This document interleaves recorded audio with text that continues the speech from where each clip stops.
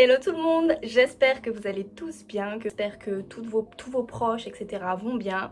Aujourd'hui on se retrouve pour une nouvelle vidéo. Je vais sûrement parler beaucoup dans cette vidéo car ça fait longtemps que je n'ai pas fait de vidéo donc je risque d'être une vraie pipelette. On se retrouve pour un tutoriel make-up donc euh, ça faisait longtemps que j'avais pas fait de tutoriel make-up et ça me manquait trop. C'est une vidéo make-up hyper simple, juste histoire de se retrouver, de parler, de discuter un peu, de faire des updates sur ma vie et sur vos vues si vous voulez hein, me dire en commentaire ce qui se passe.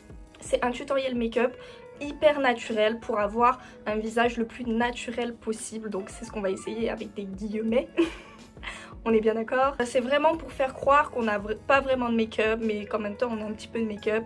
Donc c'est pas un no make-up make-up mais c'est plus un maquillage très naturel, effet peau nude en fait, comme si on dirait qu'il n'y avait rien sur la peau. Première étape, on va mettre la crème hydratante comme d'habitude. Donc c'est une crème hydratante de chez Eau Thermal Hydrance Optimal Riche. Donc c'est vraiment pour les peaux très sèches et les peaux très sensibles. Ce qui n'est pas mon cas, bien évidemment, ma peau est grasse. Mais en fait, comme je vais sous le soleil assez souvent, il faut vraiment euh, l'hydrater. Pour celles et ceux qui ne savaient pas, je suis rentrée en Guyane pour le confinement parce que euh, je voulais tout simplement rentrer chez ma famille, euh, je voulais vraiment profiter, profiter de ce moment pour rentrer en Guyane et puis en fait je préférais rentrer chez moi avec le jardin, le soleil etc plutôt que de rester enfermée dans un appartement toute seule. le fond de teint je vais mettre, je vais faire un mélange de fond de teint parce que euh, je n'ai pas ma teinte ici. En fait, comme j'ai été un peu sur le soleil, ma teinte a évolué. Du coup, j'ai pris une teinte trop foncée pour moi et une teinte trop claire pour moi de chez NARS. Donc, je mets deux petites gouttes de chaque. Je mets vraiment pas beaucoup de matière. Donc, c'est vraiment euh, le strict minimum possible. Donc, je mets trois petites gouttes sur mon visage. Et voilà, un petit peu aussi sur le buste parce que, en fait, euh, à cause du soleil, j'ai des boutons de chaleur. Donc si vous avez des petits conseils pour les boutons de chaleur, je sais qu'on m'avait conseillé l'aloe vera. Je crois que j'ai testé euh, un jour ou deux, mais j'avais pas vraiment vu de différence. Donc si vous avez le même problème que moi, dites-moi en commentaire euh, ce qui est bien pour les boutons de chaleur. Ensuite, je vais venir étaler la matière avec mon pinceau The Face 2 de chez Marc Jacobs.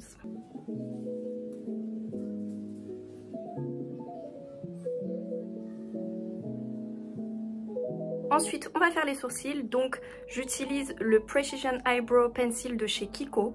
Donc, c'est une marque que j'aime pas forcément, mais en tout cas, euh, ça, c'est une petite pépite. Si vous cherchez un crayon qui ressemble un petit peu à celui de chez Anastasia Beverly Hills, euh, pas trop gras, qui est très précis, vous pouvez vous pencher vers celui-ci. En plus, il tient hyper longtemps. J'utilise la teinte numéro 2. Par contre, la petite brosse ici, je trouve qu'elle est pas très efficace. Je préfère prendre un vrai goupillon qui, est plus utile. Ne jugez pas mes sourcils, ça fait euh, longtemps que je ne les ai pas épilés. Donc, je ne trouve pas de pince à épiler ici. Et j'ai la flemme d'aller en acheter. Puis d'abord, si j'ai envie d'avoir des sourcils touffus, j'ai des sourcils touffus.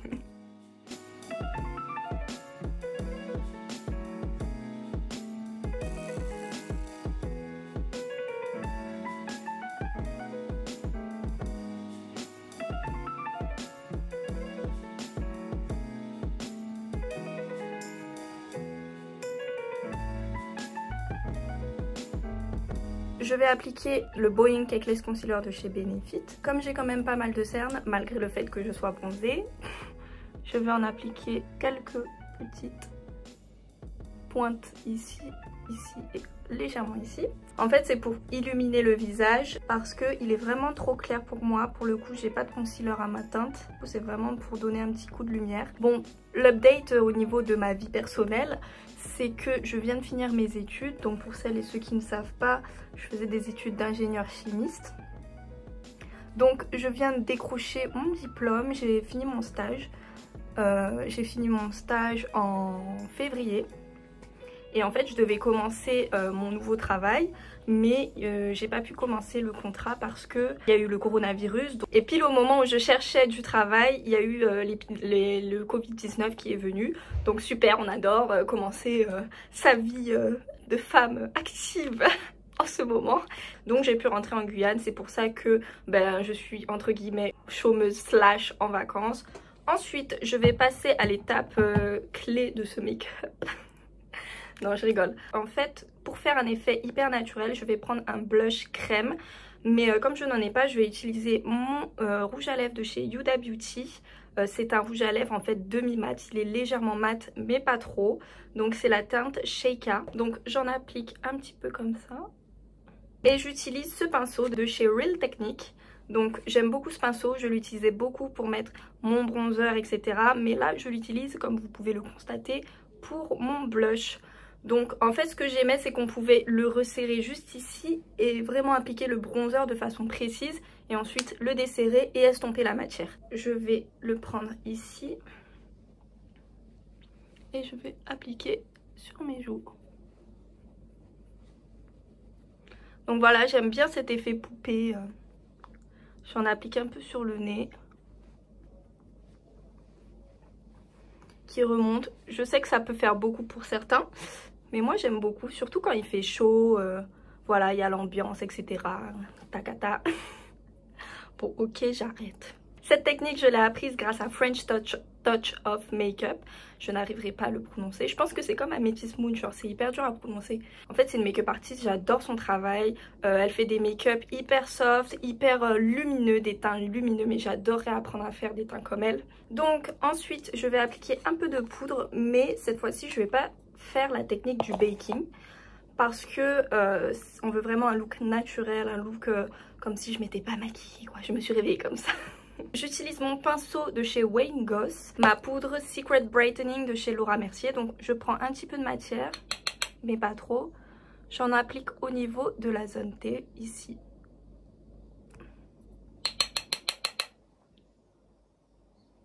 Voilà.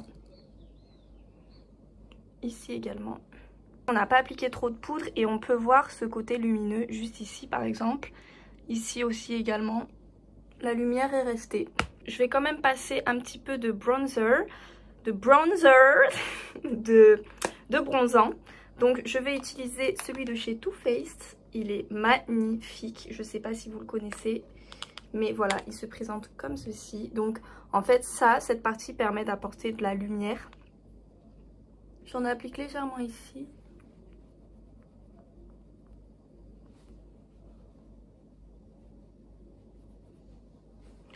Et un peu au niveau du front.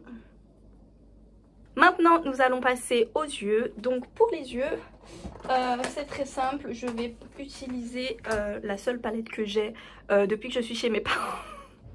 depuis que je suis chez mes parents. Donc c'est la Vivid Heart de chez Sephora. Donc je vais utiliser une couleur marronnée, soft, qui fait juste effet un petit peu smoky, mais sans trop en faire. Donc je vais utiliser le pinceau de chez Zoeva, le Luxe Crease, le 228, qui se présente comme ceci. Et je vais prendre la couleur Craft. En tout cas, je dois rentrer en France euh, dans pas longtemps. Donc en juin normalement, mais euh, j'ai peur de retrouver un petit peu la France parce que en fait j'ai l'impression que l'ambiance elle est, elle est lourde, elle est pesante. Je sais pas si c'est euh, juste une impression, mais en tout cas, j'ai cette impression et c'est sûr que ça fait bizarre parce qu'au final, ça fait deux mois que je suis en Guyane. Ça va faire trois mois bientôt et en fait, les changements, c'est hyper compliqué à gérer pour moi. Parce qu'on s'habitue en fait. On s'habitue à une routine et en fait, il faudra toute la rechanger, etc. Donc j'adore voyager, hein, mais là, retourner en France, je pense que ça va être dur. Ensuite, je vais passer en dessous pour euh, souligner le regard.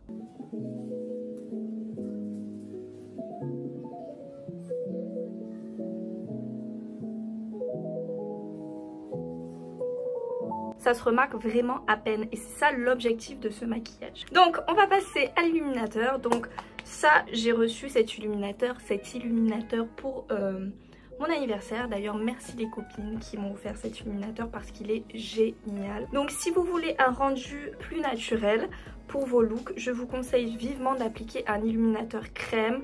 Let's get it c'est l'illuminateur de chez Fenty Beauty. Je vais en appliquer des endroits stratégiques pour capter la lumière.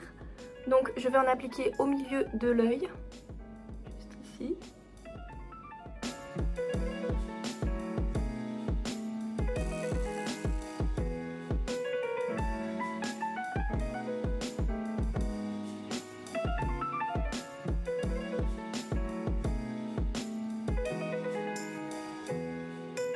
Alors moi, pendant le confinement, ce que je fais, c'est que euh, bah, Je bricole beaucoup, j'aide mon père dans le bricolage. J'ai obtenu des compétences bricolage. Mais je sais qu'il y en a qui cuisinent, je sais qu'il y en a qui se sont mis au sport.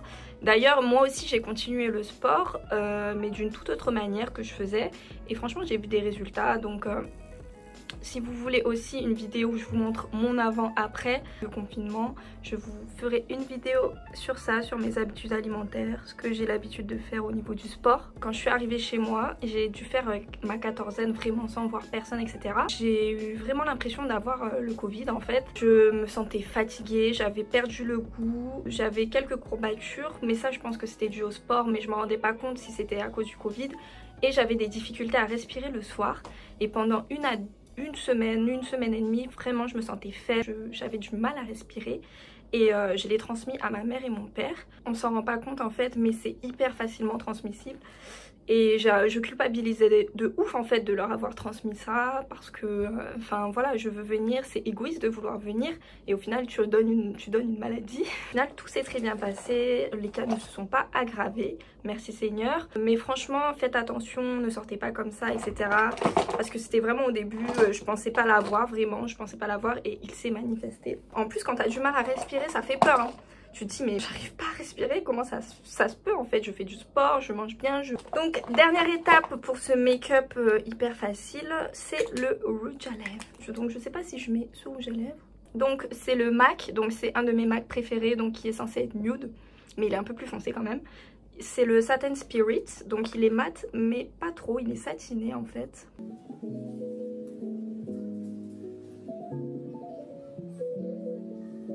Et je vais passer un petit coup de gloss par-dessus pour donner un peu plus de, gaieté parce qu'il est quand même assez gris. C'est un gloss de chez Charlotte Tilbury, c'est le Rose Glow.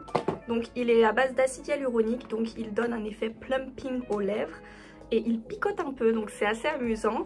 Moi euh, je l'utilise, je n'ai pas vu d'effet plumping, mes lèvres sont restées pareilles.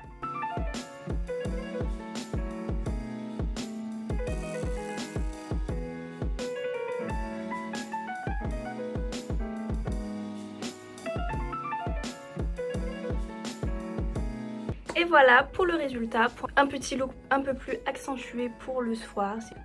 En tout cas, n'hésitez pas à vous abonner à la chaîne sur Instagram et à vous abonner sur TikTok. Je vous souhaite de passer une excellente journée. Je vous fais de gros bisous la team bouclette.